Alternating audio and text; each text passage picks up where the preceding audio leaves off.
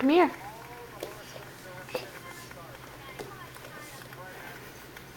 Your leg is stuck.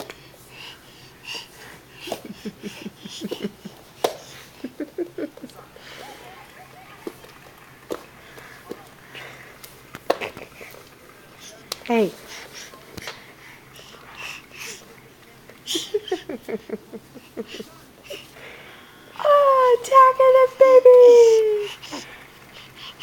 okay.